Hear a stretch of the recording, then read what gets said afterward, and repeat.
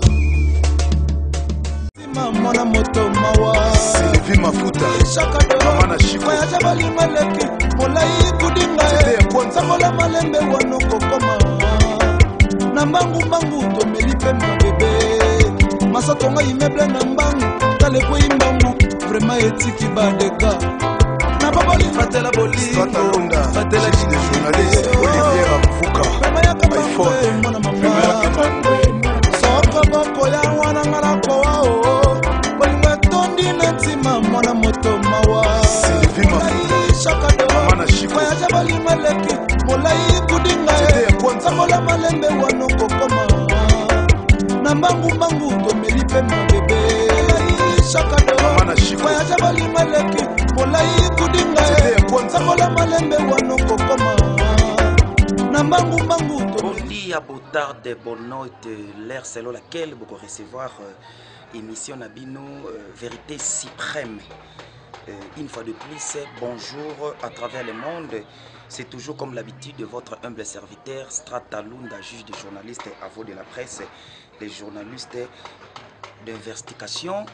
ya Congo Dialogue la chaîne mère de maman Francine Ngembe madame ya Belgique une fois de plus bonjour merci na ba chers internautes nyonso tout euh, bon message kota la émission na bino euh, vérité suprême oyo ezali présentée euh, par euh, humble serviteur na bino Strata Lunda juge de journaliste avant de la presse et sortant de l'UFASIC kaka ndenge tosalelaka bino ba recherche tolongwe mosika na luanda toye kokita na euh, lune de province na kati ya angola oyo tobengi yango na kati ya province ya huila ya huila si je me trompe pas awa sikoyo towana municipe ya matala place wapi oyo eh, tozwi invitation parce que biso babengisaka biso eh, tozwi invitation ya koya kosala mosala comme il faut lelo na mboka oyo tokiti na municipe ya matala toyo juste eh, nakotambola elongo na réalisateur na nga oyo azali eh, david tukuezo donc eh, merci mpona confiance opesa nga lelo toye kokutana na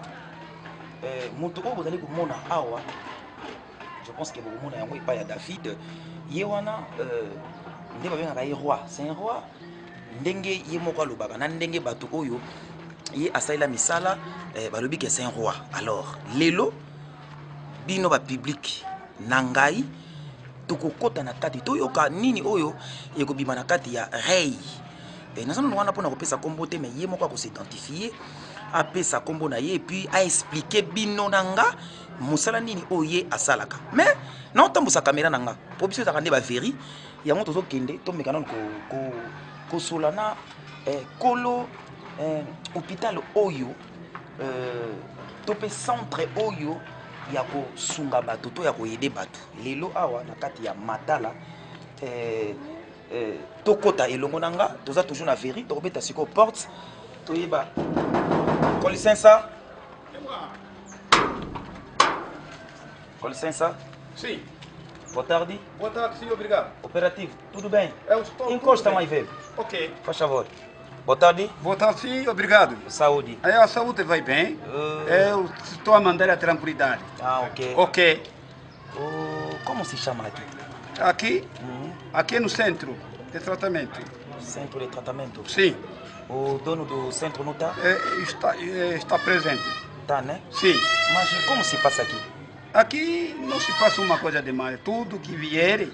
sim. tudo é de bem só.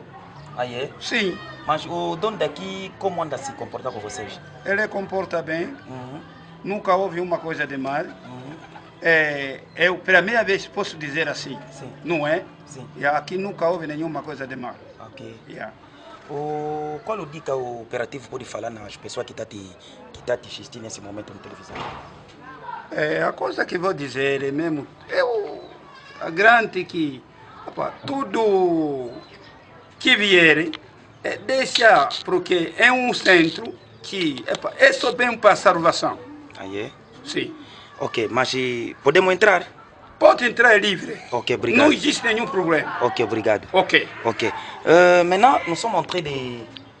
eh, kopusana place oyo mais je vois encore tuku ezo est ce que okoki kozwilanga babiloko mosusu nazomona awa na point ya ndako yango nazo comprendre te place mobanga na boti vraiment babiloko mosusu ozomona pene eza pena ndako moko très tradition vraiment tradition pene efandi pena awa mais topusana nanu eh, toyoka eh, eloko nini oyo ekobima na kati ya eh, ye moko le rey parce que nazomona partout bafiche na ye et puis on se retrouve juste après la publicité on y va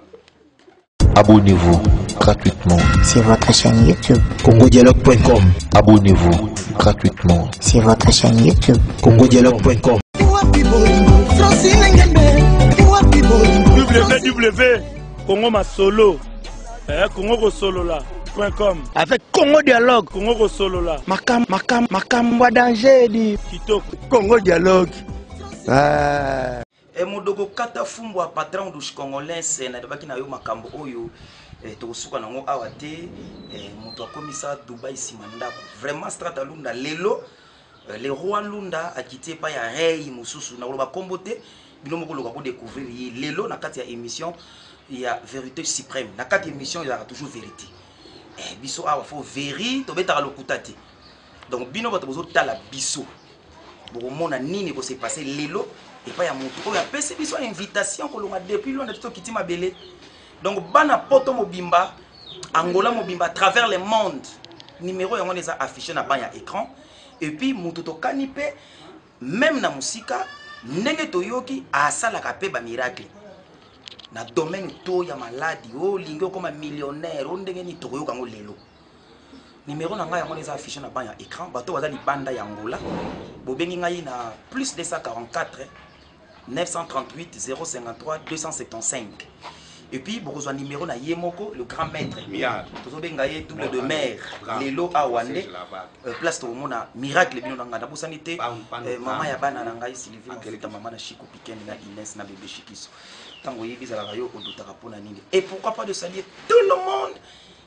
qui me suis dans ce moment nga nazo senga vraiment permission avant nakota vraiment nasenga pe ye moko pe chef nayebi te biso toza ba biso toza balunda tozo senga sikoyo permission na bakoko vraiment kolisensa si pode nkangi ye ok merci twama ya ok eh.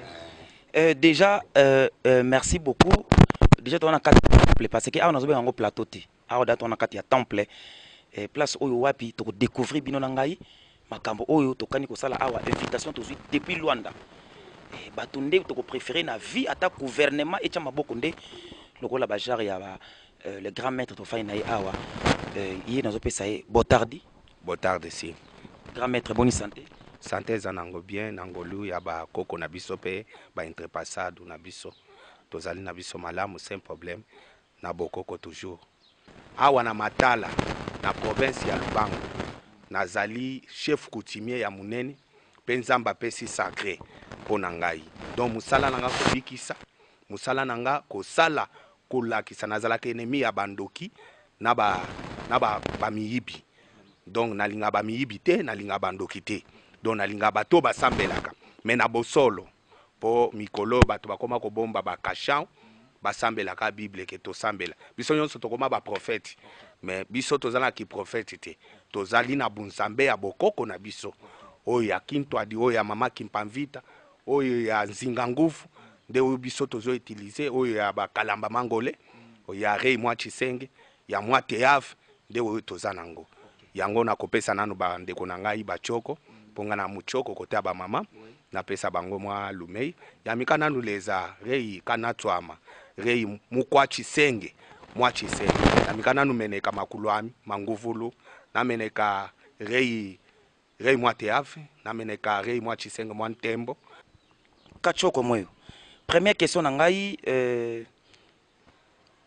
ozwaki revelation comment ndenge nini mpo lelo o se retrouver na kiti oyo ya bokonzi avant nakoma rei nazalaki na bapapa na ngai nakola na vie moko naza tellement nazoloba verite naza mwana moko ya commerçant monene oyo bato bayebi mpe meme na congo oyo bayebi tendeleya aza papa na ngai po papa na ngai aza moko aka sanzu eh, aza moto aka sanzu mama nde aza moto moko inta ntango nabandi na province ya bapapa lokola na kasaye nabandaki nabanda olota bandoto omona naloti ndoto ndoto esalemi naloti ndoto ndoto esalemi naloti ndoto ndoto esalemi Soki na loti mwa eloko esalemi entre temps que ba possibilite papa akufaki avant que biso po azalaki mutu ya ba makambo pe nazuaki temps te ya kofanda na papa na ngai ntan yango nakomaki kote ya ba mere i kote ba mere bazongisaki ngai epa pere nafandaki na koko oyo abota mere na nga oyo abota mère na nga ntango na fandi na ye eye kozwa temps ke nakota na sport ntango naye kokota sport nasali catch ntango nasali sport ya catch nakoti na makambo ya catch ntango nakoti na makambo ya catch esali nga mwa mwa Mwa ke, mwa eloko moko ya makasi esali nga mwa pasi po nazwa eh, nazwa temps. Namoni souframentu eleki na banda sport na 10 ans. Na 10 ans na Congo, tango na bandi sport, na bandi kokola na yango, nakoli, nakoli, nakomi na age ya ba 12 ans.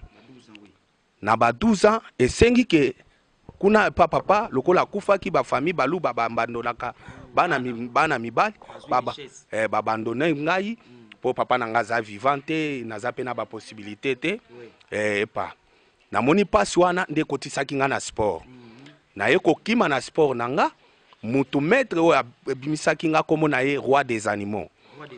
Akufa deja, akufeli na Dundu. Cimetière na ye eza na Kamatundu. Ya tango abimisi ngai na bimi na force na ngai na ba 12 ans na bando sala tourno ya nga moko. Inakutana. Eh, na nakutanaki na nani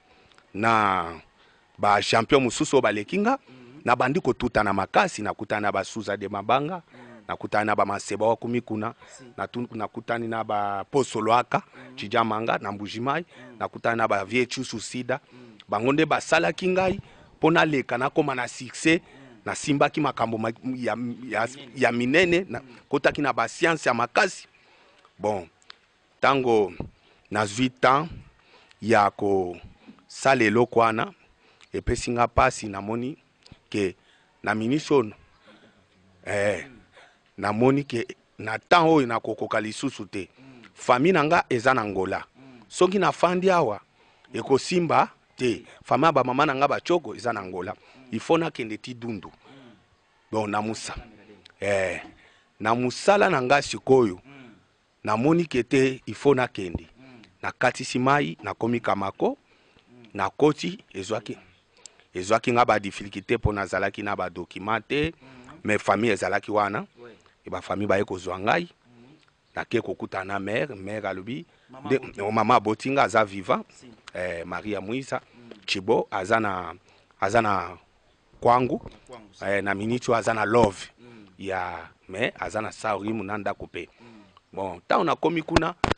malege bango koloba na bango na koloba na biso ezalaki mwa komplike ngai na bando olobaka kichoko na nga na mwa chiluba na nga na lingala bon nafandi nafandi koko na nga moko alinga kufa Cote ya Kamanonga na Mushiku. Eh, nta ye azali nganga, kombo na ye Shaka Chafwa. Hmm. Nta ye alobi nga bokonzi na nga ifo napesa netu na nga moko ya liboso ya mwana na nga mwasi. Hmm. Bon, ntango baye kobenga ngai lokola koko wana abota na Rayinya Katolotolo. Hmm. Bon, asengi ke nga naya. Ntango na ye namoni ke naza na pasi soki nga nazwi pouvoir oyo te nakolia wapi nakoyiba il faut leka na signe mpo choix ezalaki te soki nga nazongi na makambo ikati angola awa eza na mbongo te mm. bakatiere nyonso bakoma baaventurier oza na certeza naza na certeza eza bakatiere oyo baza na age na nga te oyo nga mpe naleki bango na age babunda lokola nga na bunda te me basambwisa biso na mboka oyo tozwaka nabeli nabelaki deux ans namona ata kache ya mboka oyo angola asunga nga te continue lisolo ntango okoko abengi yo eh ntango okoko abengisi ngai ayebisi ngai na kichoko alobi yena yena mokwa chimbanda alobi yo nde kolo pouvoir nazotikela oyo ya ngai bon ntango atikeli ngai atikeli ngai busoba na ye apesi ngai foto wana kisoba koko na ngai mpe azao Koko na nga aza awa, apesi ngai ba fardumentu na ye nionso azalaki na yango. Ayebisi ngai eloko moko, soki olingi o vivre noki, kosangisa mundele te, kosangisa mundele te na bokoko nazo pesa yo. Ee, o, ee, kosangisa mundele.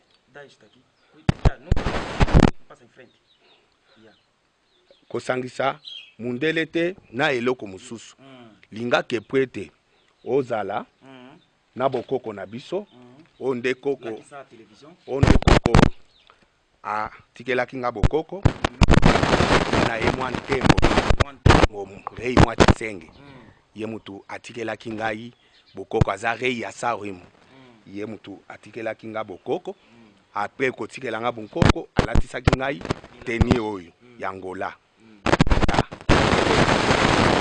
Na Lyon ya bakoko. Ya bakoko ezalaka. Nazalaka na Lyon. Nazalaka pe na cheri na biso oyo babengaka mwa futungu akobima okomona ye. Abima wapi? Eh, akoya awa, tokoye tokobimisa kala na ye te, biso nde tokobimisa na simba yo mpo yo okobanga ah, yo ye mpo na makambo na nga apesaki nga pouvoir alatisi nga bilamba hmm. asungi ngai hmm. mwana na ngai elanga grand wana En tout cas, tozomona spectacle ya lelo topesi ancêtre mbote euh, ndenge ye moko ndenge na fongola ni- bafongola nini ah, ok maria afongola fungola yango ok en tout cas soyez connecté wana totosala tozomona na première spectacle oyo mwa- te yo moko simba ngai nayaki kosala vraiment ok Voilà. Ouais, natunaki yo est-ce que soki osengi bakoko na yo est-ce que basalaka yango olingi osala biso démonstration na bato bazotala biso kasi yango oyo ouais. omoni yango yango wana namoni foto eh, tokosenga ye mingi te ok po tozosala toza nano na émission ok ah, kumaetu kuanga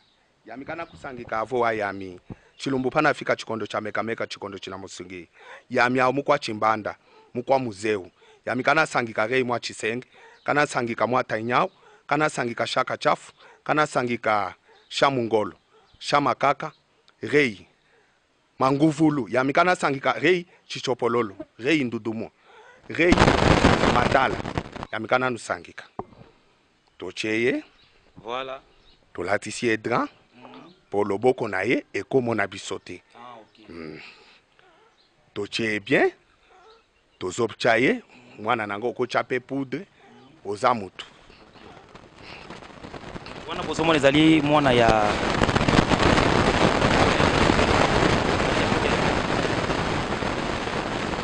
Voilà, c'est c'est l'action. C'était première action. Voilà.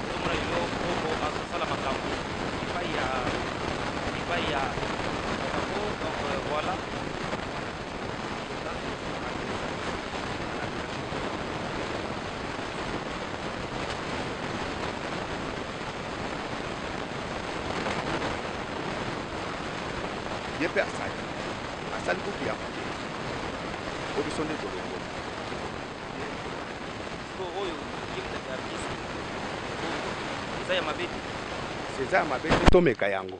Sombela biso ba kazusa biso tomela yango po totia yango soki eza ya mabe ya liboso nanu po yo olobi ke asalaka te ye asalaka po asala esengi te ke tokota na kisi po toboma bato. ezaka ye moto atelelaki na pouvoir aza na centrale Voilà. ntango tokobengisa ye akoya mpo asunga ngai Ok. mpo ngai nazala- na travaya na biro te Mm. Biro no nyonso yango. nayebi ndenge basalaka shapa te Mm. nayebi ndenge basalaka ndako te Mm. donc bana nazokolisa kaka na bokoko Mm. Ba ndaku nazo somba ka na bokoko mais nako somba na kilukuta te. Siko question na nga mosusu ezali boye. Lelo tomoni eh, koko na yo asaleli yo miracle. Provenance ya mbongo oyo tango yo osengi koko akenda bokunda ye. Siko mbongo oyo ye ayaka kotika yango azwaka yango wapi? Eliya azalaki na tango ya Jesus te, yango ye akufaki. Tous les morts soki moto ayebi soki mort a injustaka te akosi yo ba injustaka ba injustaka pour nous avons avec deux mondes ouais. tozali na monde oyo bino bobembaka monde invi, invisible mm. monde oyo ozomona te ntango mm. tobengi ye awa mpo asala mm. est ce que tosali tokende obuka ndako ya motu mpo tozwa mbongo ezali kaka ye wana mm. oyo atikelaki ngai pouvoir mm. ke yango oyo ye motu azali na monde wana tobengaka yango monde de cadavre mm. bato oyo bayebi monde de cadavre te bayeba lelo monde de cadavre existaka mpo ntango moto azokufa na tradition Akenda place ba koko nionso bazalaka. Rei Nzinga Nguvu bakenda. Place ba Rei mwa Tshisenge bakenda. Place ba Kalamba Mangame bakenda. Place ba Luandanda bakenda. Ozolanda. Place ba ba nani bakamwe na safu bakenda. Donc bato wana bazalaka na monde ya cadavre. nzambe ayebi bango mpo ye moto apesaka badomene wana epa na bango donc soki okomi na monde wana te loba osimbaki makila c'est deux choses mintano yango ye azalaka mpo abatelaka apart nzambe alingi ye mpe azali mpo abatelaka mpo ye moto apesaki nga pouvoir ye moto apesaki nga nyoka na nyoka na nyoka okomona lakisa ye nakolakisa yo nakosimba yo te Yo oza innocent oye mpo na bango okay. Ye mosala na ye kopesa nga ba diamant, kopesa nga honneur oh. Eh, kopesa bato oyo balukaka misala. Ye azwaka yango wapi? Bon, nyoka aza kaka mpo aza nyoka atambola. Mpo tomonaka nyoka, bato bakimaka nyoka. Mais comment yo okozala na nyoka na kati ya ndako olobi ke apesa ko ba diamant, apesa ko bonheur, apesaka bato makambo. Ye nyoka wana. Kende na moto. Nyoka azalaka azali lokola train nga lokola naza na avion ntango yo okoti awa omoni nga nafandi na nafandi na poto ya lion donc signifie ke biloko nyonso ekomami ya eza mpo na nga ezala nyoka ezala soso ezala pigeon yo omoni na ndako na nga eza biloko nzambe moto asala asala yango donc ngai nde naza na droit ya ko diriger ndenge ba dirigeaki yango na jardin. Yo jardin na yo nde royaume na yo awa. Royaume na nga donc naza na souci ya biloko wana. Royaume Tshiselele. Tshiselele kasi royaume Tshiselele yango oyo ti eh, tango ozoyoka hospital Tshiselele mwana kachoko moyo yango oyo. Ok hopital Tshiselele mwana kachoko moyo nga dejà namoni première action nga.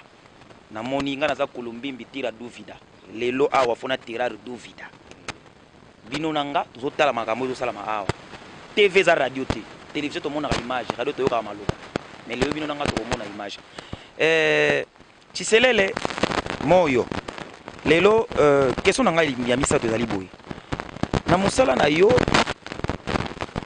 difficulté nini deja esi okutana Otuni nga motuna ya bien ya malamu.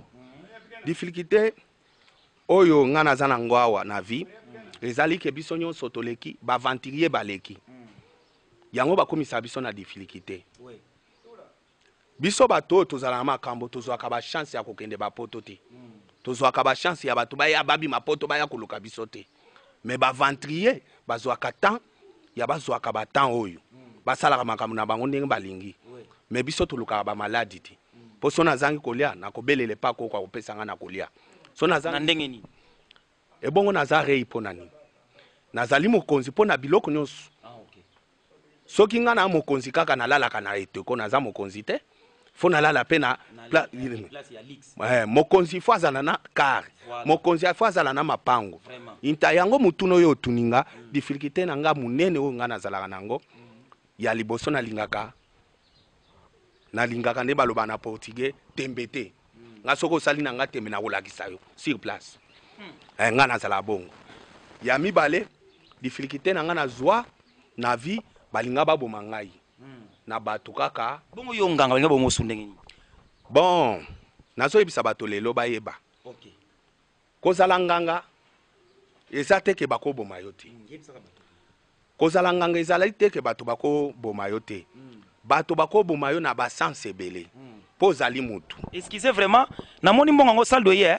en tout cas mbongo oyo voilà ah nalobi na yo koko awuta ye kobimisela biso mbongo awa ngai nakanisaki bakolia yango te mais finalement eza mpe na mbongo baliaka basaldu yango naosala na ngai publicité ya saldu oyo te biso obenga yango crédit donc mbongo oyo koko awuti oyo towuti kosenga awa epa eh, chiselele asengi mpe akoko na ye atikela ye pouvoir ayaki kotikela ye mbongo mpo aprouve biso bino na biso bino na ngai oyo naza na plateau yango oyo ezalaki 5000 Kwanza esombeli biso 5 cartons c'est à dire 5 eh, eh, eh, eh, saldu unité en tout cas ngai vraiment nakotya yango na telefone soki ebengi nakoyebisa bino bapiblike na biso ke ebengi mpo ngai kulumbimbi tira duvida Yango oyo mbongo yango esombi saldu bino na nga après emission na oyesa bino keno saldu oyo esali naza nango na poche ngai lelo awa eh, bato oyo mosusu ngai nasala na bino bemission bokosa ngai naye komona nde veri awa eh, toza eh, continue réponse, eh, réponse na yo donc eh, bato balobaka ke mpo toza bapuderose voilà. makambo nyonso tokokoka te Tokokoka te nyonso mpo Nzambe azaka moko. Nzambe mpe nde apesi don epa na biso. Soki nga na bimi awa, nake na ndako na yo, yo osali plan botiela ngai poison. Soki nga na, na koti koko ayebisi nga te, ndenge nini nakoyeba ke poison eza wana? Mpo eza nzoto kaka. Koko nde fasi na lenga. Efa asinalenga. Ebongo soki asinalenga te. Ebongo soki nazokende mission ya mwasi. Mpo eza te ke nga naza awa, Na kolinga te. Na kolinga. Naza mutu, naza mobali, na kolinga pe basi. Oza pe bogar misu minene. Eh, eh bongo sika ya Biso basi ba lelaka. Eh bongo soki nga na keyi, na kende koluka basi. Eh, soki na kende koluka basi. Est ce que na komema kaka tradition na nga kuna? Te. Il faut ki bogar, na kolata pe. te voilà. donc soki nalati mm. nde nakokende mpe mwasi me bato batyelaki nga likita mm. nasalisi mutu ekomi aere ya mbongo na nga mm. moto akabengela nga bato batya nga na motuka bamema nga na zamba bakende okunda nga vive oh. ozolanda mm. nde première histoire na nga natikala nango mm. ya vie mabe yango omona nakoma na residence na nga po okota il faut okuta ba seguransa Voilà, tomonaki ye dejà. seguransa nanu ya mutu Mhm, ntango tokoti Luanda mpenza, ye moto ayambi biso na porte. eh, na ba arme Voilà, après deuxième seguransa na nga avo avo. Wana po bakoko na na yo. bakoko na nga po mutu nyonso azalaka na bobangi ya liwa Bongo. bato bayaka awa na traitaka bango na bikisaka bango po ba bangaka liwa. Est ce que oza pe na temoignage ya quelques bateau obikisa? Na bikisi kutu mwana moko aza awa na uta ko bikisa ye zero eh. Toko zua ye. Eh okay. Mwana wana azo la ladu na bino kombo na. Ayaka ndenge nini po bikisa ye? Ayaka awa zero eh. Na bikisaka ye. Yo mokonzi zero ero lamuki po yamba malade. Mais mwasi oyo nga nazalaka na ye okay. Andeko na bango. Mm -hmm. Nga na sina lale abeleli nga alobi sunga ye. Et puis tango na yoki ke baza na ba famille mm -hmm. ya ba choko. Mm -hmm.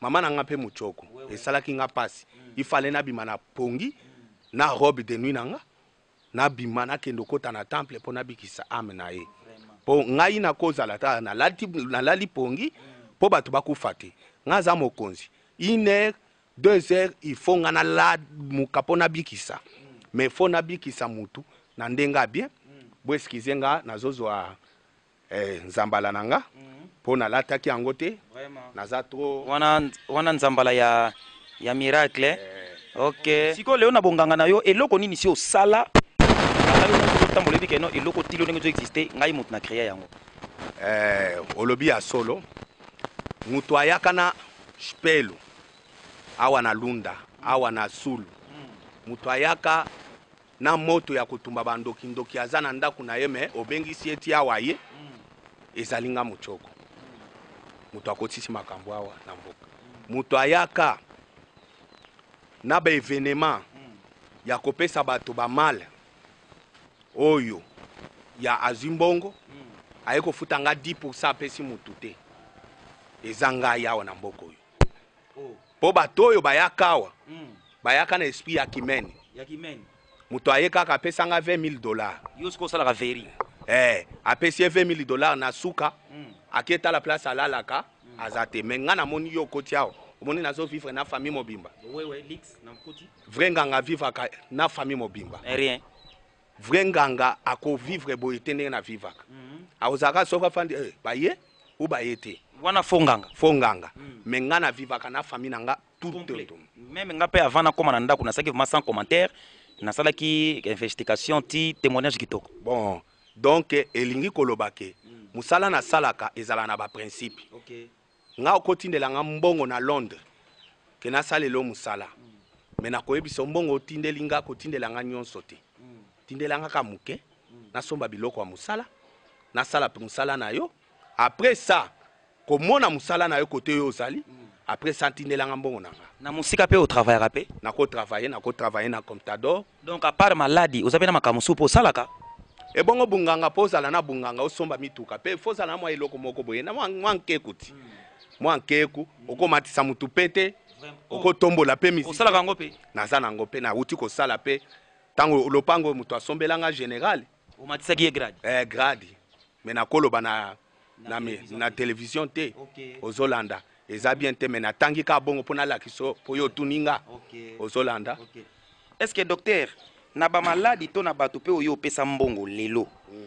est ce que esi osala mpe mosala moko obikisa moto abiki mpe ake me ake boye aye kozonga retour abongi te naza na motu to na kati ya temple na yo abongi na ye me soki abimi okomona kuna retour baye kozongisa lisusu Ngai na bazongisaka mutu deux fois te nga kutu batu bakimaka ngai na ba na bikisi ye akimi nga apesi nga eloko te yo owuti koya soda moko awuti kokima nga awa awuti kokima nga na mbongo kutu ake dative muitu kasha na ye mais nazongisi ye maladi te nazosambela kaka place na ye mais ameli yo mbongo ameli nga mbongo atikali na niongo ya nganga atikali na niongo ya nganga sikoyo yo osali nini nakoboma ye te il faut azala kaka exemplaire Mais na bolamu nga na sali ye na motema na ye eza temoin. Mais aza na niongo ya nganga. Aza na niongo ya nganga. Keba motema ba nobeto pamba pamba po tika na niongo ya nganga. En tout cas yaka ko futa niongo ya nganga. Nganga ba kendaka na niongo na ye te. Cree connaissance na nganga c'est tout. Po nganga pe aza mutu a edaka pe. Mais comment yo ko kende na niongo ya nganga?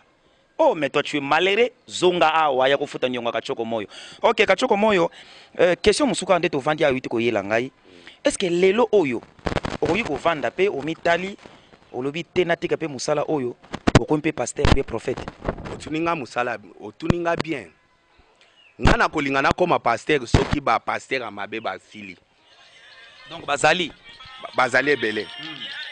bazali bazali ebele ibazali na kondima te mpo ngai ava nakoma nakende ozwa bokoko na ngai natika ngai naboma na ngai motu pamba pamba te nasalaka mabe epa bato te ngai azalaka ere moko nakabelaka bato ya mbongo na ngai ya oferte nalinga nakabela yango ata na bato ya nzela oyo bakembaka ke nakende opesa yango na eglize mpo tozwa nano motu Azobima na cinq mituka aza na ba pango mais abondalaka pa mpo na ba mosusu alobi bopesa 100.000 dollars bopesa boye Mais na mais eglise ba ba oyo pauvre. wana zo bazosenga baza te na eloko moko te Vraiment.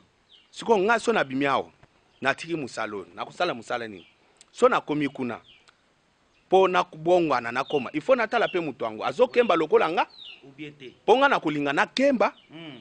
nasambela nzambe ya bosolo Oui.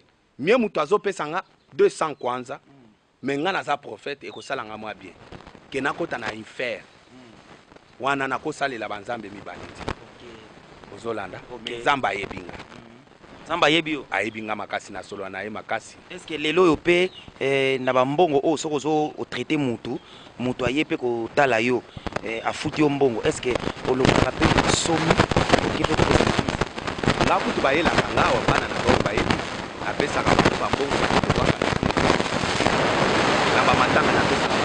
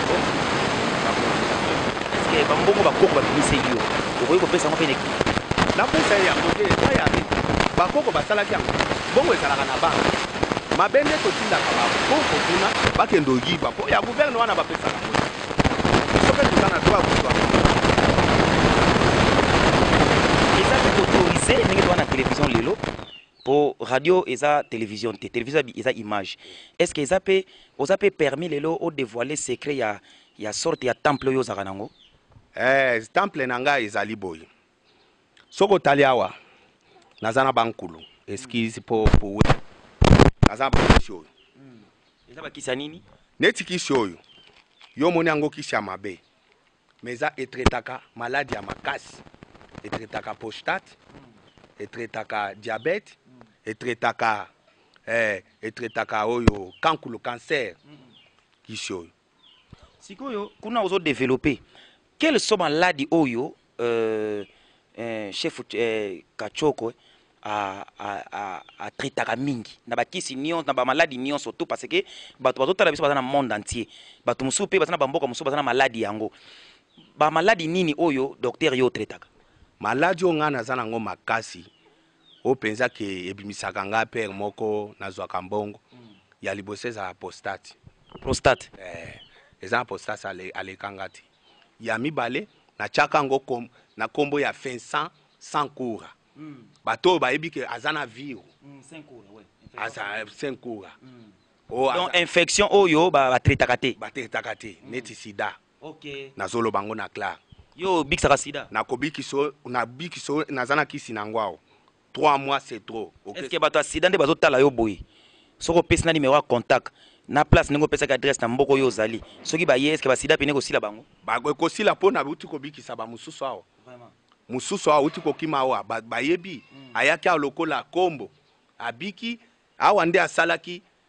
Kikobo na ye na mobali na ye bakimi quatro. Bakimi. Eh. Mm. Nabikisaki bango. Basalaki ekobo na kata lopango awa. Eh, basalaki ekobo awa. Awa eza ekila kolala mwasi. Ebongo na kopesa ekila mutu aza na ba sentiment na ye ah, na pesa okay, ngande okay. mutu na kolala mwasi na ye. Okay. Eh? Mm. Bon, yango basalaki kisi mm. wana. Ezali strantel ezali kisi moko koko apesa nga pona mi bikisa pe ozo landa yango na pesaka ngo batu et puis na ngota. Ngota eza nini? Ezali maladi ya ndeke epsiya Ah, epilepsie si. eh, yango eyaka ezali neti maladi oyo ya oyo bakufaka fantasme oyo mwana oyo azalaki nango Okay. eh, Wana soki batie yo yango il faut oluka operation traditionnal. Lokola epa na yo awa. Eh awa batu bayebi operation traditionnal meme ba nganga ya afrique ba decouvrir yango te nga eza un seul mutu na salaka operation eh donc operation traditionnal eza kobimisa eloko na nzoto ya mutu kobongola yango na kobomba yango place yo omoni batie rideau ya rouge eh, nde place babombaka yango mpo ezonga après ça mutu wana abika okay. ok euh, docteur parce que oza déjà docteur traditionnel Tomoni na kati ya lopango na yo otieli biso ba signe.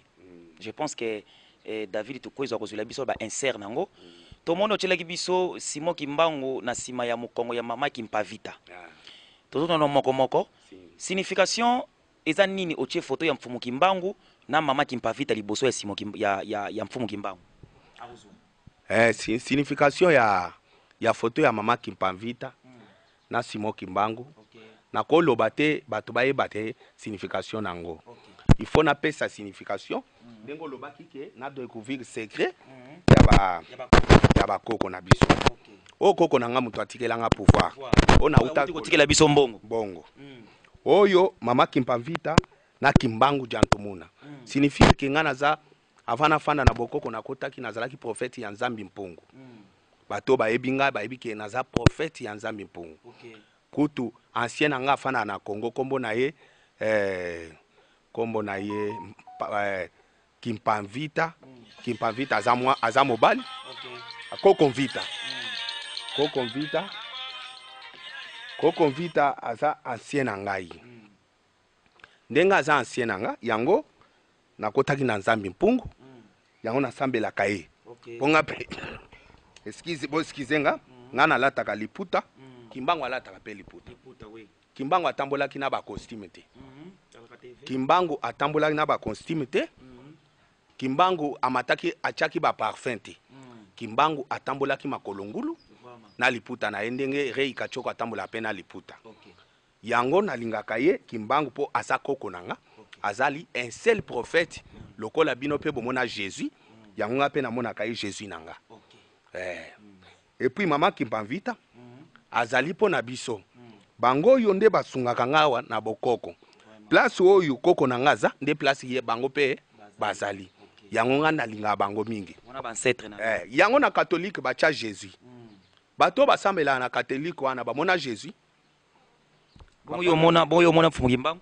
Namona ye te mais nazwa pe na tia. Okay. Signifie que bango asalelaka yo. Asalelaka nga. Bango pe Jésus asalelaka bango. Asalelaka bango. Okay. Eh, okay.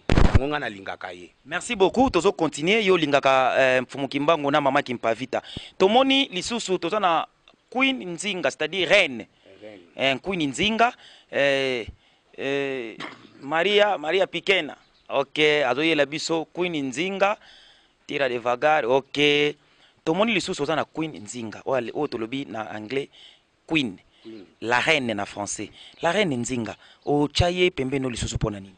nasepeli na yango, yango nauti koloba ti Nga nazali mokonzi ya bato oyo. Bango bakenda, batikala nga. Ngai sikoyo naza na bango. Naza na ye Queen Nzinga, azali descendant ya Nzinga Nguvu. Ozolanda? Nzinga Nguvu aza na temple mwana na nga okopesa ye. Ya. Eh, temple eza ebele tokokota po Tokokota na temple. Awa eza temple ya libanda mais toza na cabinet na. Eza interdit te?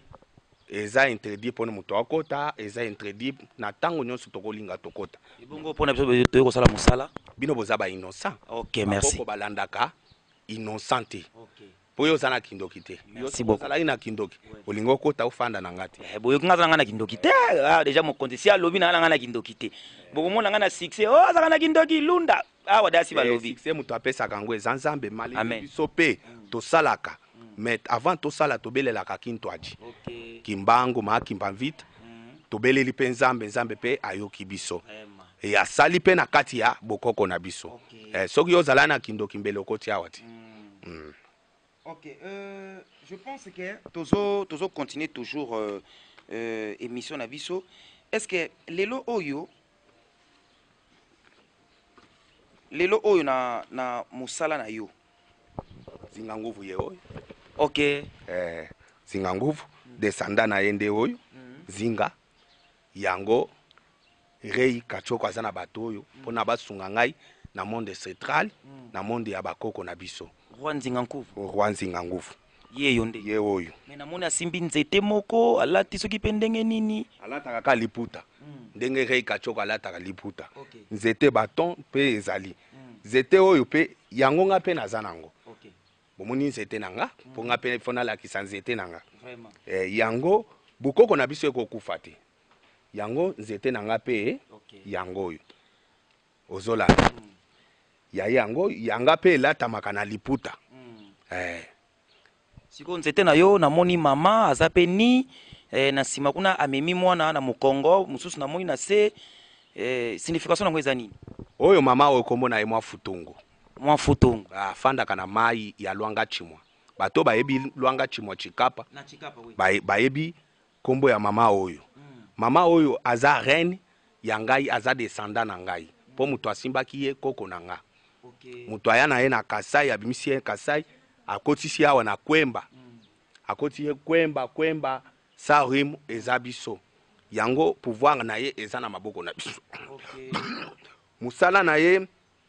kotumba bato ba ndoki musala na ye ndenge aza boye soki ndoki azalai mbele omoni akimi musala na ye kobenga ba nyoka oyo baza ya kobomba okay. ye akobimisa yango tobimisi yango mm. tokangi ndoki yango mm. soki otali na telefone na yango okomona bandoki baza wana mm. oyo batikali mitakala oyo na kangi baza wana na ye ok okolakisa tokolakisa yango na eh. television mm. ozolanda mm. intan nde mosala ya mama oyo okay. mosala na ye amona moyibi te moyibi ayibi yo na poto obeleli ye mm. ye mosala na ye kovimbisa bato mabumu mm. kopesa peso okay. nde mosala ya mwa futungu, mwa futungu. Mm. Okay. sikoyo euh, docteur pesa message mpo na bato oyo baza na poto eh, bato baza na poto soki baza na difficulté eh, mpo na koya awa na afrique mpo osalela bango mosala message nde okoki kopesa bango eh, nakosenga bandeko na ngai ya poto babosana te rei kachoko nazali bozwa bato nyonso bato mabe te bozwa bato nyonso na bobangi te ke bakopesa okisi moko boye okokufa eh, rien biso topesaka kisi okufa te biso tozali na stral Tozali na eloko ya bokoko, nzete na pouvoir. Yango wana nakosenga bino bandeko na ngai ya poto, baoyo nyonso baza ya poto, baoyo mpe baza bandeko na ngai na poto kuna basi bayebi nga, nakosenga bino, ngai naza kaka awa mpona kosunga bino. Oyo aza na posa na nga abengi nga, nakosunga yo. Mais kotiela nga nanu mbongo nayo liboso te oyo ba bien nayo mais tiela nga mbongo oyo ekosomba biloko que tosala nango musala omona resultat soki oza na kondima ndenge tondimaka eglise po eglise tango tokendaka toyebaka te que nzambe aza awa mais motema na biso nde endimaka e soki yo osali mpo na ngai olobi ke nabengisa rei nakoya mais ezala mpo na levantar ifo ofutelanga kiti oyo na fanda po nga na fanda na bakiti ya bato te ofuteli nga kiti na koya place oyo ozali nasaleli yo mpe mosala na bimi na kei na bakondisio oyo okolinga yango wana naza na mingi ya koloba te ngai naza mpo na kosala bokoko naza mpo na kosala baoyo nyonso baza na balubumbashi na bapoto na hollande na france na turkiya bayebaki motshoko aza bayebaki katshoko moyo nazali nazali katshoko oyo ya photocopie te po batu lelo bazua kombo nanga meme na ba cathier bazua kombo nanga bakoma ba katioko moyo ebele eza kaka nzela na lekaki na salaki po batu nionso bayiba eza bien po nanga eza fierite po na ngai yango na kosenga bana nionso ya kasai oyo bayebi muchoko ya ndanda na kolobela bino munoko ya mboka pama na papa nanga muke bozua yango ata soko bozui yango mabe esali te dinuela moyo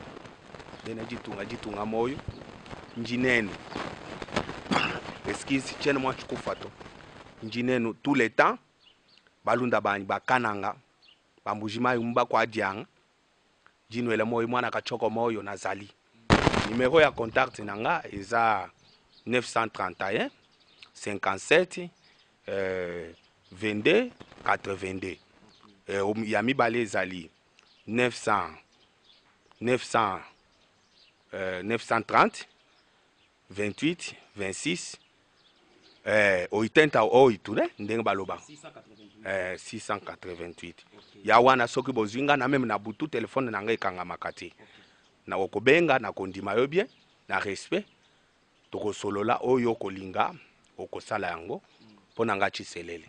Ok a part nanu ndenge euh, tokomi sikoyo ko chite po toke sikoyo na ba action oyo nini maître akoki kosalela biso ba demonstration lelo oyo oza na capacité ya kokomisa moto millionnaire Yo interet na yo ezalaka nini?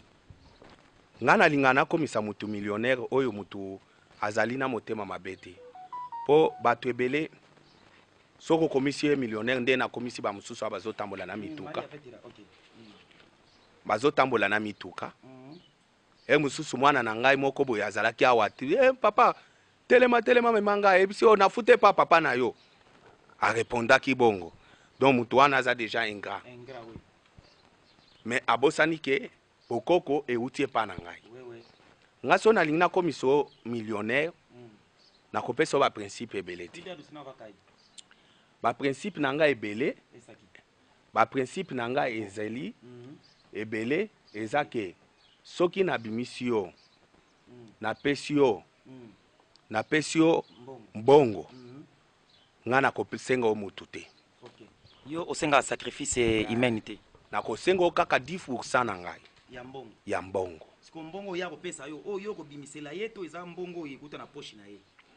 Te mbongo oyo ye akopesa nga mm. ezali mbongo oyo te ke ngai ifo nalela ezaka mbongo moko oyo ya ye oyo akosombela nga material mm. po mosala yango tosalaka yango na babougie bakamonia mm. basan eza na babiloko moko tokosomba oui.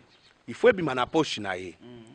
Nde mbongo nga nako senga ye mais soki mbongo ebimi a travailler na ngo chaque mois chaque annee il faut abanda otiela nga 10 pourcent na mbongo ya bando travailler na ngo ah. okay.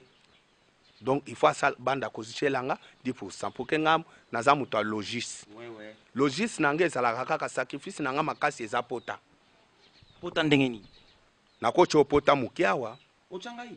Eh, na cho pota muke. Ngai. Te na lobi ke na che na ah, sali exemple. Okay. Na cho pota. Mie oboma famille, mm. mie oboma bana na yo. Mm. ozala na mwa pota na yo ya bokoko esufraka yo moko nde eh, ekembaka yo mpo na kala bakoko babanda osala bongo mm. eh, pota wana soki ezobimisa mwa mai mm. mbongo ezokota nango na mal wana porte monnaie magique totie porte monnaie to totie mala nga azala na mal ah, mal donc c'est à dire valise ya mbongo valise okay. donc kuna etondaka mbongo ah, chez mona place na kobimisela mbongo na yo hein oh, eh, na kobimisela mbongo na yo pona kabela yo kaka eh. ne tozali awa To toko preparer po Anna akobima kala mingi te.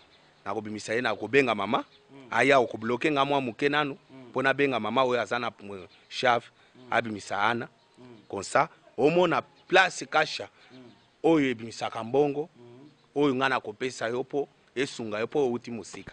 Ok vraiment merci beaucoup sikoyo eh, avantage nini soki nazongi mwa muke sima question moko ewuti koyela ngai tango ozalaka catcheur avantage nini ozwa na monde ya catch ayayayayaya pasi pasi bandeko na ngai otuni ngai motuna bien esali ngai kutu nakolela soki ezalaki mwana moke nalela mbele naleli eh, soki ezalaki bebe mbele na bandi kolela avantage na zwa nga na kati na zwa avantage ya makasi pe pendant combien des années sala succès ba 2000 ans ti lelo nazala na ba age ya ba 12 ans Tii lelo bakoyebisa ngai te. Donc na 2014, na 2013, na 2022 nasala succès ya makasi. Te, ozalaki mpe na succès mais opesaki mpe ba ceintures, ba mbongo ou bien comment? Kopesa biso, ngai nazua kaka licence, nazua licence, nazua medaille, na titre ya champion ya Kasaï. ngai naza champion ya kasai sa ye donc champion ya kasai yo naza champion ya kasai mpo na bunda na bachampion ya kasai bongo awa na angola namona ondire est ce que eh, barelation nini oyo ozalaka nango ndenge oza champion ya kasai est ce que tomona mpe na angola bamaitre baza ebele tomona bamaitre kirko eh, tomona batoragaza ba, ba, ba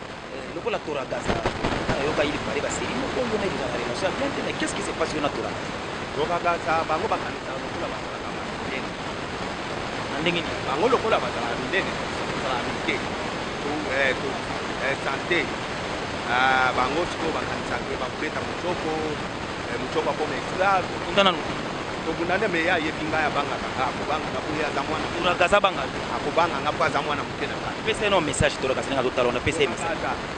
Nga nazo banga yo te ngai mutshoko yo oyebi ngai yo oyebi ke wana mutshoko awuta congo nazali catcheur ya kobanda nanu mwana muke na president wemba na tirbo na bango nyonso ndenge baza wana bayebi nga ke nawuta catch mwana muke naleki bango nesu naleki bango nga nabunda na postolo tokaka baza bunda na postolo nabunda na mwana lunga tokaka baza bunda na mwana lunga nga na bunda na mwana lunga na 12 ans toragaza abundi combien des ans mm.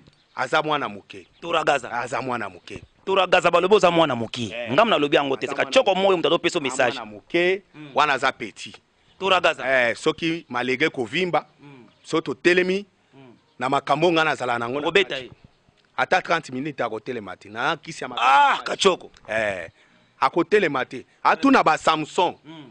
ba grand champion ya Congo biso tozo kitora gaza tika ne makambo akoma il paraît pasteur yozo tuka ye kaka azo kosa kacheka tika kisi te donc aza nango aza nango aza na carte église et eh, bongo ye akendaka église nini église ya bakachere afongola église bakota mabor église ya bakachere ti yo omoni kachere atika kisi akofungola église église ya bakachere ndenge nini akolobake na minute tofungola église Na nga kade tovandi awa. Eh, tofungoli mpe eglise.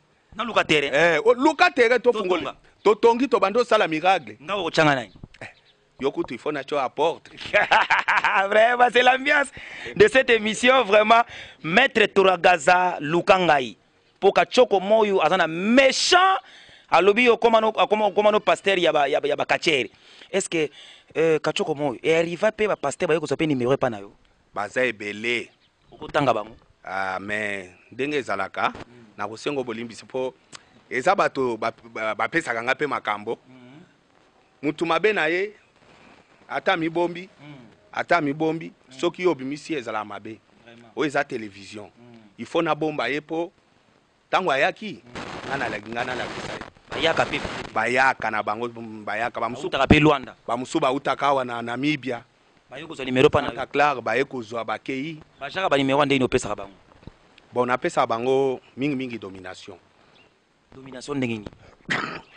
Domination ti soki azo domine mutu abandi na pesi ye lupemba hmm. tobengaka nu lupemba lupemba wana ezali eloko moko nayeba siliki oyo yo olata oh opesa ba pasteur eh, eh ayeba vie na yo opesi ye kitalatala eh, lupemba eh. Ako yebisa yo yo oza na poto ayebisi yo ke omoni na ndaku na yo nakutaki eh, eza na bakiti ya pembe eza na bakiti ya rouge ozoyoka eh? eza bakiti ya boyi biloko wana euti epaka ncoko donc Ah, ainsi- yango nini? eh, kasi mutu apesaka yango yango wana Eh, tango yo okomona ye olobi moto ya Nzambe. Eh, nga mpe nakotanga baoyo yanga te mpe boaidaka nga mpe batiaka nga mwa lukukuma na kati ya poche. Eh, Eh, lelo Katshoko Moyo aza mpe père de la famille. eh, nazali na bana, nazali na bana, nabota bana mosusu bazokufa, bamosusu mpe Yo moko ozolia bango.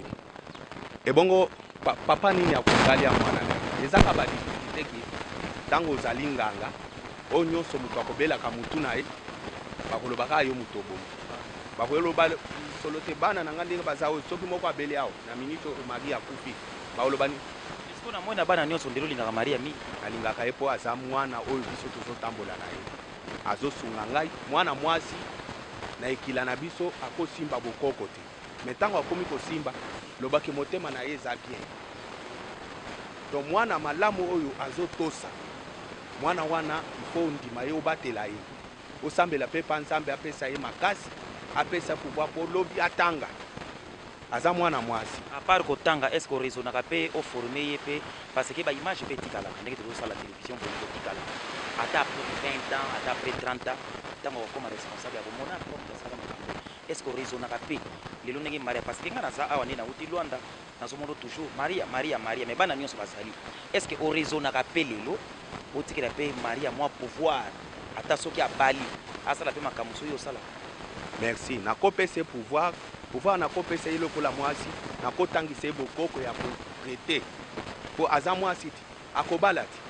Akozwa pe difficultes na famille. Mutu moko aza na makulu. Mutu moko aza na ba problèmes. Eloko moko boye ya molimo ya mabe elingi ekota na ndaku. Ye moko asi ayebi ke papa atiaka fumas na ndaku. Akotia. Akozwa inconvenient wana te. Ayebi ah papa alobaka soki nalingi nasimba boye po nazwa eloko oyo natia boye po tala esimba nga te. Kanso nde esimba nga te. Nde biloko nga nakopesa ye. Sikoyo ndenge yo o invokaka ba koko est ce que ye pe aza na capacite wana pe avandi boye pe abandi ko invoquer ba koko? Ako invoquer pe po Bayokeli ye pe. po bango ba monaka ye akenda ko sala limpeza na ndaku na bango ba yebi ye. Donc eza ndenge moko pe mutu moko soki na kati ya eglise akombaka, asokolelaka basali Ye na bilamba. mimi to soki otindi ye kende ozua mala ya nioka, nioka wana ayebi ye ke Maria nde azo mema. Na ndenge nini? Kasi ye azalaka na ye. Nyoko yango kaka nyoko yango tozomona kaka nyoko yango tozo kaka koyoka tozo. O benga mama na yo aya kofungola pompage tobimisa yango po ye amona yango bien. Hein? Eh po yo. Na nyoka ya nga na plateau awa. Ekosala eloko te. Yango eza epa na nga. Yo ofandi wana akosala oyo. Yo osimbi ye te nga mutu nakosimba ye. Eh kasi ya kozala na yo mabe ya kozala na yo mabe soki yo oye milimo mabe me yo oza na milimo mabe te ye mpe akokatisa kote na yo te ye otyeli nga miko ye akozala kaka na nzoto na ata ozobunda na ngai akobunda na ngai kaka sikoyo ntango bozalaki kobunda kachi babiloko ebele bato azalaki kondima te ke makambo osala bosaka wana ezalaki makambo ya solo eloko nini okokoyisa bato ke makambo ozalaki kosala ezalaki réalité kachi Catch ya Congo eza na ba realites makasi partout. Meme awa na Angola ba catcheurs bazali ba vrais catcheurs neti ba President Wemba baza ba vrais catcheurs neti ba masta na nga Zabolo baza ba vrais catcheurs. Ah maitre Zabolo na pesa mbote ebele na Luanda. Azali mobali ya Chat eh, Shana. Okay. Na pesi yo mbote masta na ngai. Mm, maitre Zabolo bosolaka mingi. Tosolola wana camarade wana palais. Okay. Wana mutu na ngai. Mm. Ya yeah. Nazo pesa pe subrinu ya ngai prophete dada yo a catcheur munene ndeko na ngai bima na ba effet wana yo a petit na ngai wa masa na ngai wa ndeko na ngai ozali subrinu na ngai oza mwana ya na ngai oza pe champion po na ba champion oyo tobunda na bango yo oza malgre ba ndeko na biso bakenda ba heritier simo ba ba toka bayebi ba simo Tora ayebi. Ozongeli su Tora. Ayebi Simon te. Ya Simon ya ayebi. Ayebi ata soso pembe te. Oh. Ayebi ata monta te. Oh. Mais biso toyeba monta. Monta champion ya kikwiti. Mm. Ya ayebi ye te. Na mboka bawera. Mm. Eza pe na na catcher moko pazalaki na eh, kombo na ye nani Ozana. Ah Ozana wana vie na nga wana lourd. Ozana. Wana lourd, wana na ndimi. Obanga ape, wana ondimi mpe na Ozana. Eh, soso abwala. Eh. Eh, soso abwala na kobanga ye na kotosa ye. Ozana. Na yebi ye. Na yoka histoire na ye avant nga na koma kache. Wana ba koko na ye ba kuku pemba. Ba kuku pemba. Mm. Na koma na mboka na bango. Na bunda na Eding, na bunda na Mangu Dimama. Mm. Na, na Idiofa. Mm. Na bunda na nani, na 007. Mm. Na bunda na Abomalion, na Ngungu. Mm. place nga na tambola to rap na gungu oui na kenda ti fan zone mm. ozolanda mm. donc na bunda na lwange soki oyebisi oyebisi toko oyebi lwanga ayebi lwanga te wana nazobunda mutuka te makolo mm.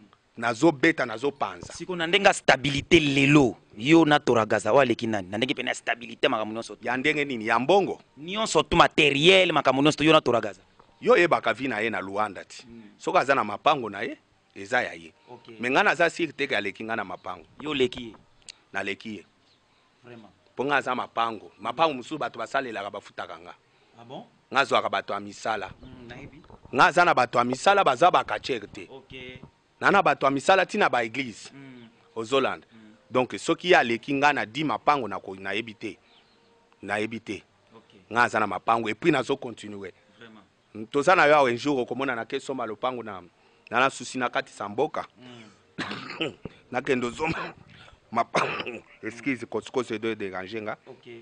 na, na kendo somba lopango na na nani na balobi nini na na, na, na kin mm. nasomba de mapango un jour yo okomona un jour kala te okay, okay. na voyage na nga mm -hmm. donc place natikali natonga yango kuna parce que là je vois ok non non non non ça c'est ça c'est une ça c'est une voilà voilà voilà wana bozomona action déjà ya nioka vraiment vraiment Ok wana wana bozo mona nguma nga na bimi na nga na plateau na longue na plateau po wana eza likambo ya nioka ok voilà wana action wana ok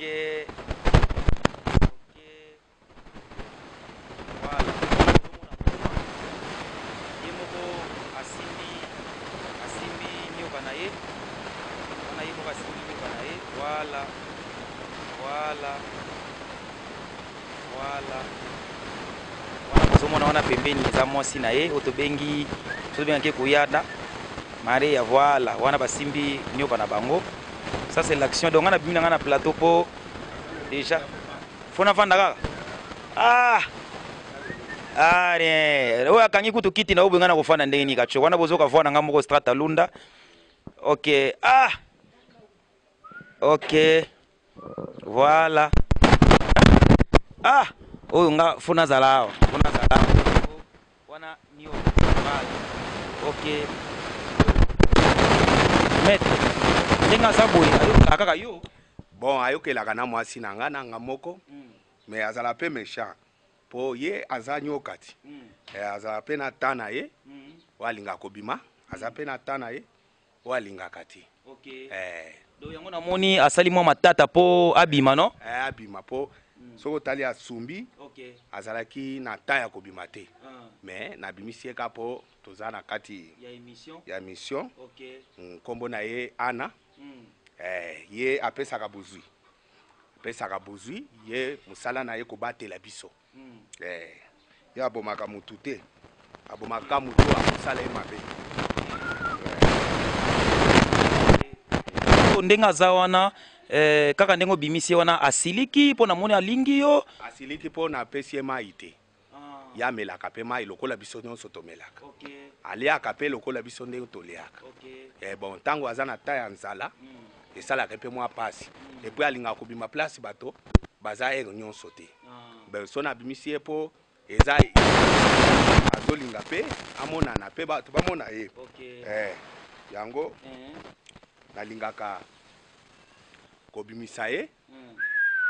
Mm. po ezala bien okay. um. sikoyo ndenge aza boye opesa ye koko ya ana mpo na ana po mm. azali ana mage mopo mm. ana eza nkombo ya koko na nga moko mm. nkolo na ye okay. yango napesaki okay. ye mm. mpo mm. azala na ngai mm. yango nalingaka ye kaka ye nde kaka nde moto abatelaka yo eh, ye moto abatelasikoyo ye ndenge aza boye moye opesa ye moto mosusu eza te fo kaka ezala kaka pana ye oyo mpe azosimba ye okay.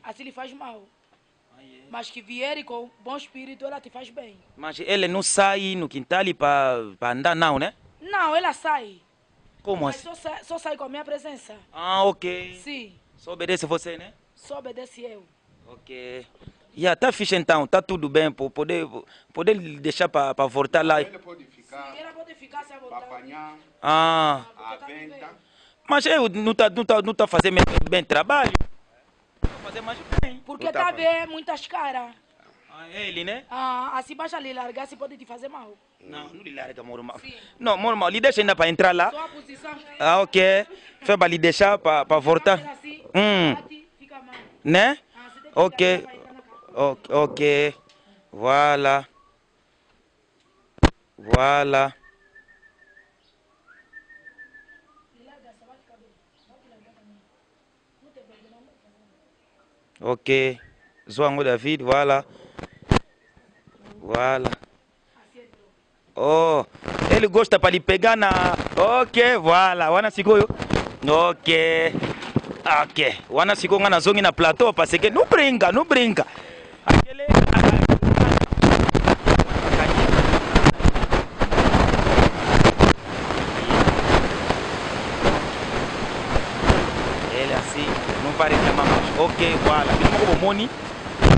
donc obeissance ya ana ezaka mpo na yo na mwasi na yo eh, ye fo ayeba ye ti mpo ye nde alalaka na ye azala na ye tout le temps il faut ayeba ye meme bana na nga mpe bazalaka na ye Sikoyo na kidiba boye par exemple eh, to pe donnons un exemple na kidiba boye moyibi akoti na ndako ya maître ayebaki te akoti bo akuti mala bongo akenda ngo boye nioka ye moko akoya kozongisa yango mpo makambo akosala ye ye akokoka te ah akoya kozongisa yango ezala ata bapolisier hmm. so bamemi yango sans mot ordre bakozwa makambo soki bazwi makambo bakoya o bakomi ofuta ba 2 million ba 3 million oyo ya ofele ye azongi kaka na ndako sikoyo ndenge toyokaka bato mosusu okomona o azalaka na nyoka akendaka koyiba mbongo quelle sorte ya nyoko bango bazalaka nango banyoka eza basorte ebele eza na banyoko oyo bapesaka kisi ya mokuma oyo bazopesa bapeti awa alie yango soki ekomi 12 heures amisi modifike akomi nyoka akomi kosanza mbongo kosanza mbongo ntango ekosila ntango akosila kosanza yango après ça akolata ako bien te akolata malamu te akolya mpe mbongo yango te akolya mosuni te wana eza ba faux numero nyoka azali komboi hmm. azali train kombo oyo ezali train eh, mosala na ye mm. ezali mpo vai mm. kende mission mm. ozwela nga eloko ozonga na yango okay. awa sikoyo tokoti na ba spectacle mm. ndenge tozali awa maître bato bazotala biso na yo quels sont le spectacle oyo koyokoloba keno nga ndenge naza boye nga nde mpe naka coko voilà eloko nazosala eza boye boye boye selon volonté eza demande tosali te public oyo bazotala biso na biso awa na plateau Quel sont le miracle okoki kosala par exemple à part ndenge osalaka tradition kobikisa batu?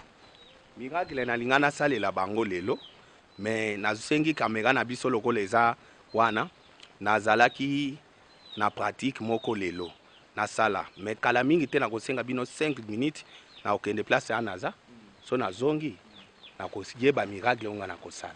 Ok merci beaucoup to permettre maitre apesa to pese mwa temps akende kosala miracle po to lakisa miracle oyo asali merci.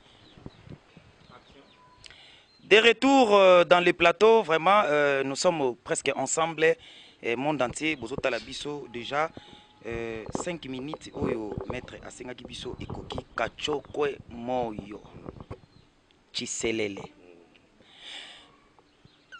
osengaki biso 5 minutes oza deja na plateau oza deja na nkodi awa tobenga yango nkodi ya ezalaka balobaka eh, eza lokola banke te banke centrale place yo oza na banke centrale eh, banke centrale place totyaka mwintu kasha tobimisaka hmm.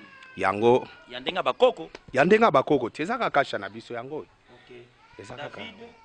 eza kaka na mwa enveloppe na biso basombelaki biso yango oyo yango oyo yango oyo basombela biso na bapoudre wana enveloppe ya pamba eh, na mwa enveloppe na biso tofungola yango ti okay, mm.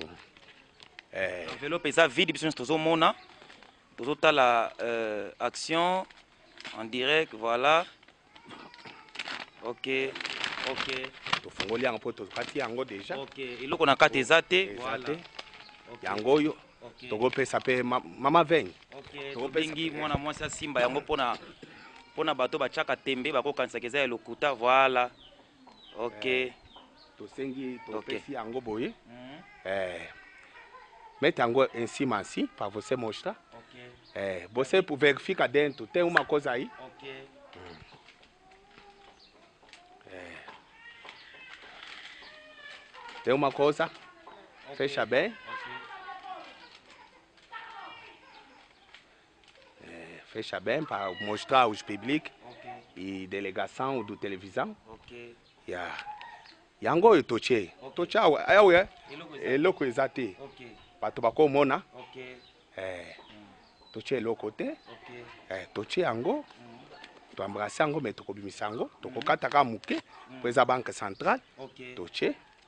wana papier oyo tobwaki place na bango okay, eh, tofuta bango okay. po toza eloko ya kofuta te okay. eh, oyo tosali yango oyo mm.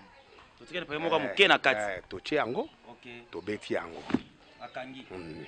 invocation ebandi fika kwele nokolo ya dois minuto depois vem comida com ele eh. okay. fika meme aí okay. eh, yango wana mm. bokoko na biso mm. ndenge tokangi yango boye totye eloko ti tofandi na yo ati okay. eh. tokenda kozwa yango mpo totravayaka na nkombo na biso mm. serpa mm. ntango mm. totindaka ye mm. ifale aautorise mpo tosala yango okay. eh. okay. eh. mm. mpo de salta mm. eh. mm. totye yango okay. ndenge omoni ye boye mm. eh.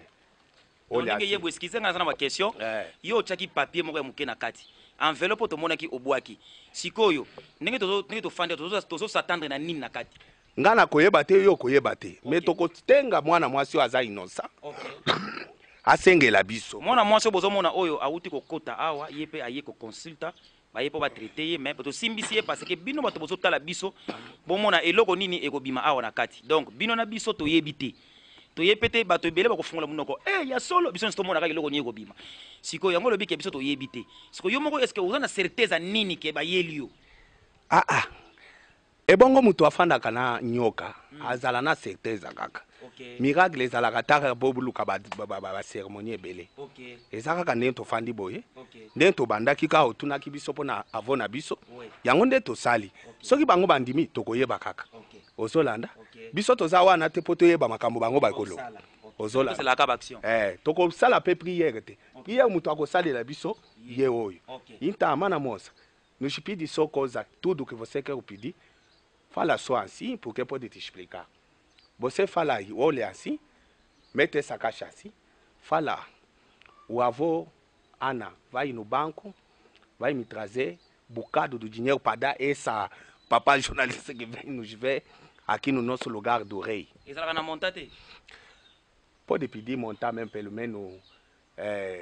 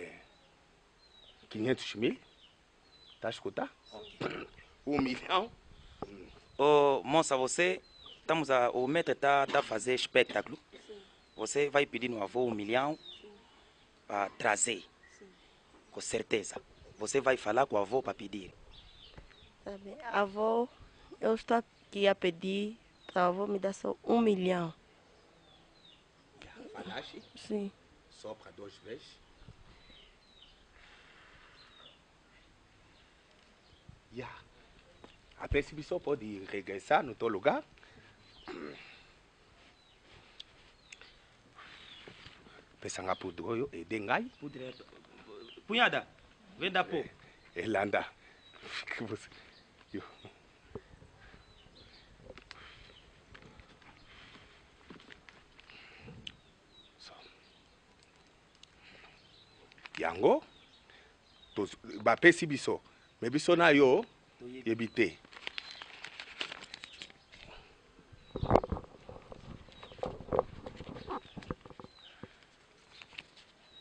esaka mbongo na yo tozobimisaka mpona tolakisa ba bato bato mm -hmm.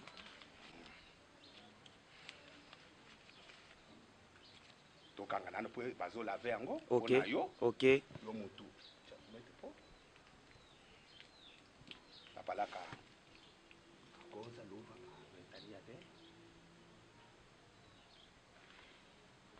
satemilasi eza mabe te ndenge bapoudre osopanela nga no te bapoudre eza na yo likambo te yo osengaki okay tosengaki yango oyo ok toye eza mpo na journaliste na biso ok eh, eza mbongo na yo merci eh, eza mbongo na yo nayebi te so public emoni bien mhm. makambo mm -hmm. tosali awa ok eh, yango sikoyo demande oyo esalami boye yo tant que maître inconvénient nango ezalaka nini inconvénient nango ezalaka soki obendi mbongo mm. soki mbongo eye mm. il fallait yo moko osokola yango okay. kosokola ezala nini ezala kaka poudre mwa priere moko ezalaka wana okay. olibere yango motu mm. me okopesa ye condition te kala lelo lelo asilisa lelo te okay. akolia kaka longi ndenge toliaka kaka bambongo nyonso okay. ozolanda mm. bon yango wana po tosali yango na miracle soki ezalaki temps moko boye tolinga tozongisa yango na kasha po basokola yango topesa yo mbala moko yo moko ozwa yango oke te oke depense soki oza na compte otya yango na banke ebungaka te ekobunga te ni ntango yo ofandi fanda nanu sala nanu exemple luka 2000 kwanza oyo kolala awa te luka 2000 kwanza tya na poche totala so lobi ekobunga eh? Sikoyo ndenge ba koko ba ba pesaka yo boye est ce que ba koko baza na limite te ke moko mususu po sengi pe ba ye nango te bazalaka na ba principe na bango po eza tous les jours ce n'est pas dimanche okay. bon bazalaka na ba temps na bango pe mm -hmm. soki ba pesi yo ba pesi yo mm -hmm. baza pe na temps moko boye balobi lelo toko pesa yo te okay. yo faut zala calme toko pesa jour chiche okay. yango ezalaka e moko ko tombokela nga mucho ko pesa nga mbongo mm -hmm. pesa nga na zotala yo kabo mm -hmm. po ba pesi nga ordre te okay. ozolana okay. mais mpo nalebisa oke okay, bapesi nga mm. eza te omona kaka naluki ata mwa mbongo na nga moko mm. abizwa ata mwa 15 milio ofika tikala nano calme mm. na bako ntango nakokende osenga bango mm. abi boyokisa nga soni te mm. omoni te lunda aye kotala nga mm. azonga tata mwa 5 million eza te omona balobi ah, toyokisa ye soni sikoyo tolakisa ye toza bandeko na yo omona boye bu mm. soki oza na chance mwa 5 millions balobi ipesa ye ah, soki akosomba car soki akosomba nini mm. soki akosomba de wana etali ye mais topesi ye mpo apesa biso eloko te toza na avantage moko te mm. essentiel asunga biso mpo bango ndenge ozosala bongo bango bazosepela mpo ozomonisa bango liboso bango susi na bango babima liboso eh. Euh, toza liboso ya télévision mm. ngai nazosenga mpe na kote mpe na mwa foye na yo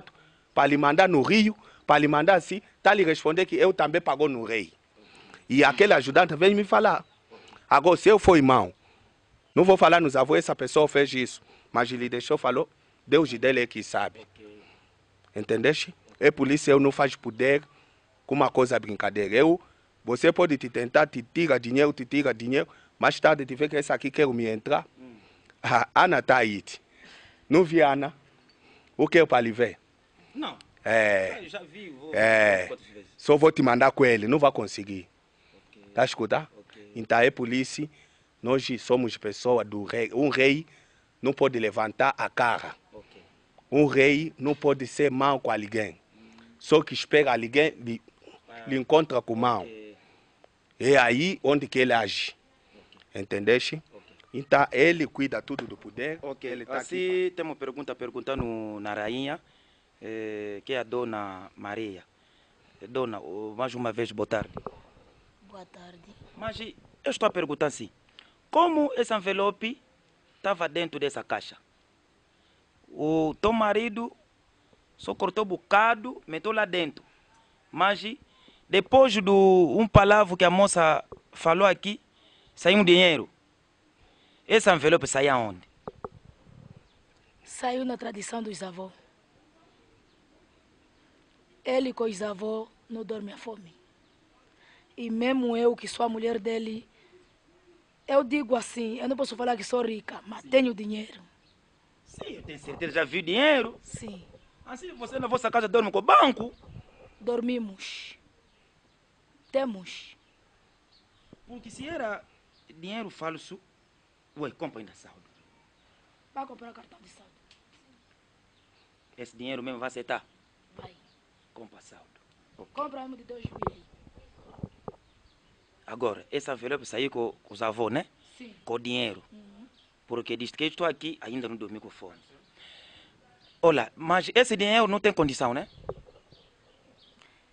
Tem um bocado de condição. Mas a condição que está nesse dinheiro não é para matar. Okay. Ele apenas, avô, te manda uma coisa. Hum. Tipo, tem que se fazer lavagem. Hum. Te manda para comprar perfume. Hum te manda para comprar umas coisas, condição. Nós chamamos que é condição. Então essa condição é onde que o quimbandeiro ou doutor tradicional pode meter uma coisa. Para você não dormir, a sonhar mal. tá tipo eu, um bom exemplo. Eu também tenho minha mãe. Yeah. Então, a família da minha mãe sempre me criticava. A dizendo que você casaste com bandeiro, não okay. sei o que é aquilo, será que não vai nos matar? Não. Não vão te matar porque é um impacto e eu e ele. Ele, essas horas, pode fazer uma coisa na escondida, eu já vou dar conta. Como ele vem aqui em casa, vou lhe perguntar, você fizeste isso? Ele tem que me falar a verdade. Okay. Que ele não me falar a verdade, ele vai morrer. Okay. Que ele namorar, tem que me falar, namorei. Hum. É eu assim, vou bloquear. Ok.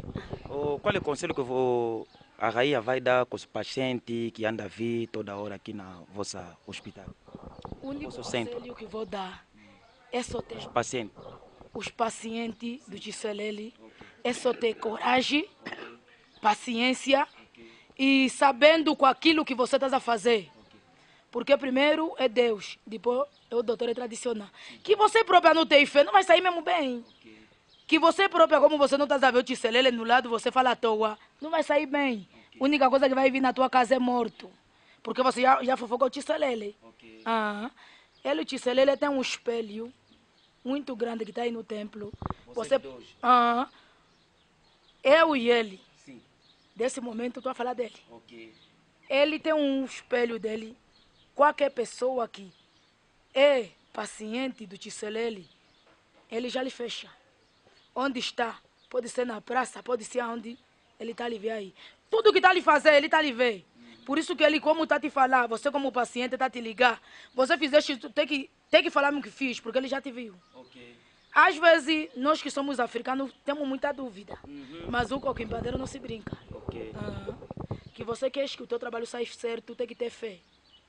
Pacience.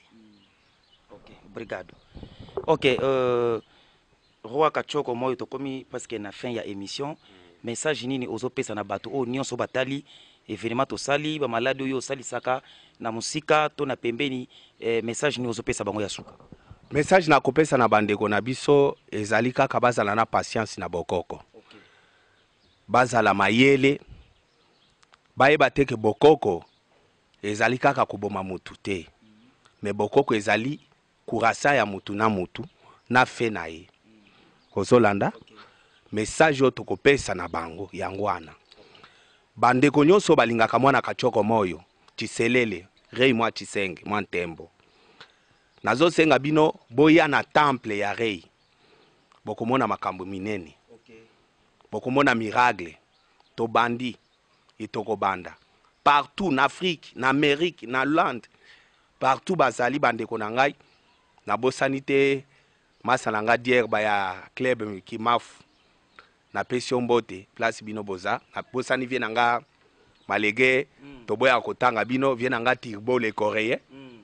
na Luanda na Palanga na Kimbangu, na Kimbangu. Okay. napesi yo mbote okay. champion kote oyo ozali mm. wana ba champion tondima bakemba na biso okay. eh, napesi mpe bandeko na ngai mosusu mbote ya famille yole mm. basubrinyo na ngai yola de pastil okay. napesi bino mbote mm. place bino bozali okay. na, go, na gorille na type na yo gorille okay. napesi mpe bandeko ya kasai mbote mm.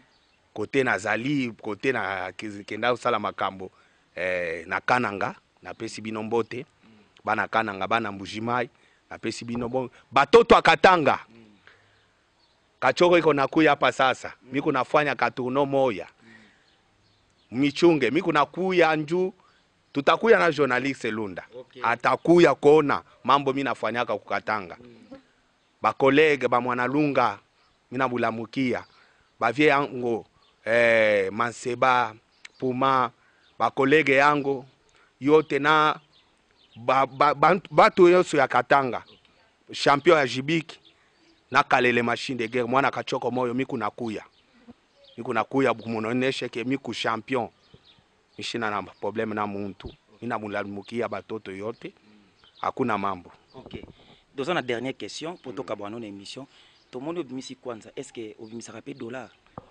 Dollar ezali po toza na toko freiner bino pona segunda emission tokolata bien tokolata pe ba mvuatu tokozala na bokoko te tokozala place moko ya bien eh tokosala sikoyo système ya dollar soki pe basengi diamant tokosala diamant.